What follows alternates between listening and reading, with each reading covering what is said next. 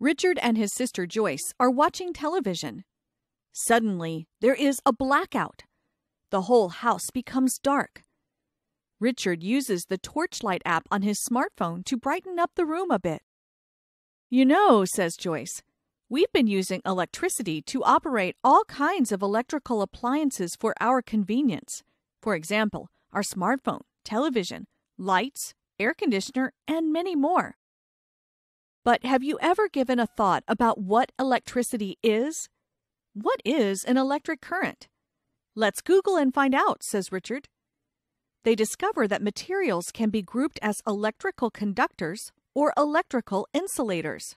In the atoms of electrical conductors, the outermost electrons are bound loosely to the nucleus. They can escape easily from the atoms to become free electrons.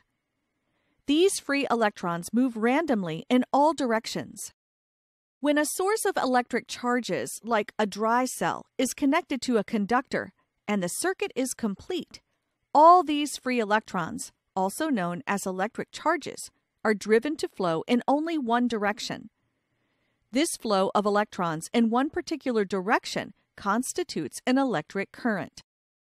The magnitude of the electric current is equal to the rate of flow of these electric charges. The greater the rate of flow of these electric charges, the greater is the electric current.